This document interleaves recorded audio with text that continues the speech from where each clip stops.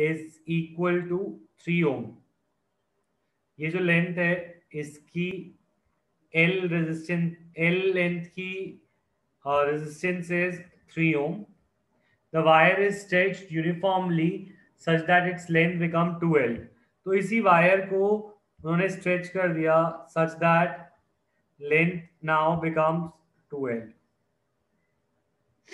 length is now two times two L ठीक है?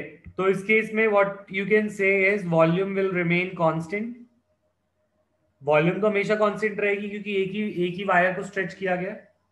तो वॉल्यूम पहले होगी initial volume volume initial is equal to volume final तो area initial into length initial is equal to area final into length final area final into length final तो if area initial and length initial is L and area final and length final is 2L, L से L cut, so I can say area final is equal to area initial का half.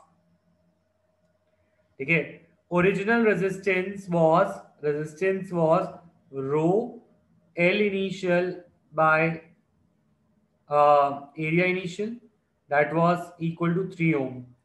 ठीक है? तो R initial ठीक है? R one करके भी कर सकते थे। जो R फाइनल होगा that will be rho L final into area final ठीक है? तो what you can put it here is you can put rho ये हो जाएगा टू एल इनिशियल और एरिया हो जाएगा।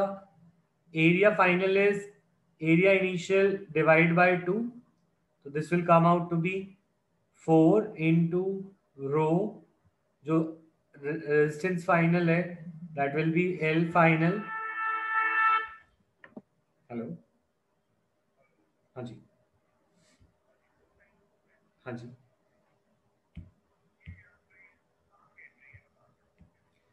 लाइब्रेरी के लिए? लाइब्रेरी के लिए?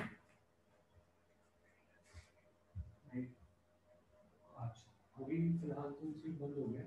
आप वेट करेंगे दो मिनट तो मैं सीट में आना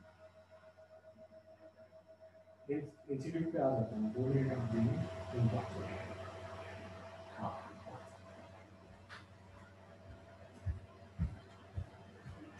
ठीक है तो it becomes resistance final becomes four times of the initial resistance four into three ohm that is twelve ohm ठीक है?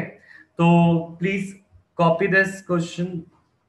I'll explain it later on. abhi i have to end this meeting है?